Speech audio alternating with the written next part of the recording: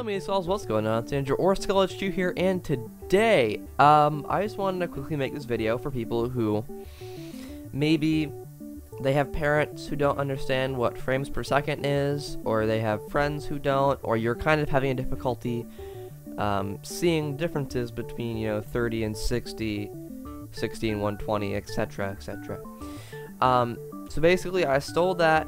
There's an animation. Um, it's 60 frames per second, 30 frames per second, and 15 frames per second. Um, in between there is 24 frames per second, which is what movies are shot on. But this is to show you basically the smoothness of frames per second. So I'm going to quickly explain frames per second for you. Frames per second in, in video is the amount of pictures taken per second to when it's strung together make a video.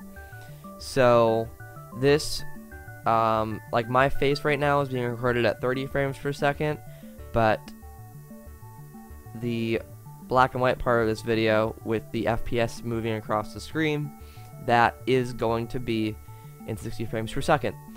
Um, so, for instance, if I'm shooting with my phone, my phone, I believe, shoots at 30 frames per second.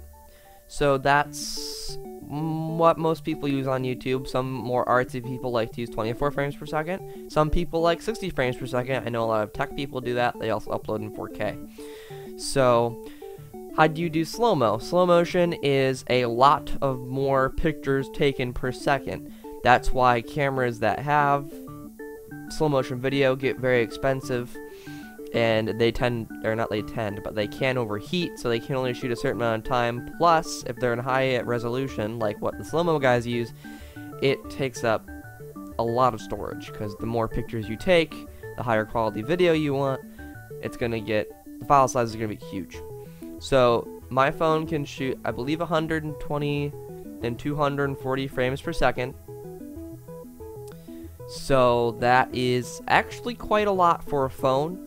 Um, so you get you can get pretty nice slow motion out of it, but you can't get something like a Phantom Flex would do, which is numerous thousands of frames per second. It's ridiculously high quality too. So, but yeah, uh, that's how that's what frames per second is. So in games, it's the amount of time the screen updates per second.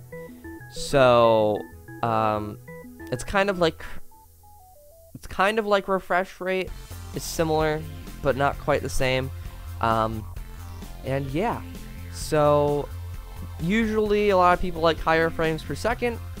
Um, there was one movie, one of the Hobbit movies, I think, was shot in 48 frames per second, and people got sick because of it, because you have to adjust, basically, if you're not used to 60 frames per second, or anything really higher than 30, you have to kind of adjust to it a little bit.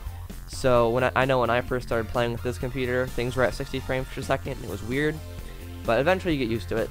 And yeah, so I'm gonna quit talking, and that's gonna be it. So yeah, like if you liked it, favorite, if you want to share the video, subscribe for more, and uh, tell me what's your preferred choice of frames per second in videos and video games. So yeah, take care. Bye.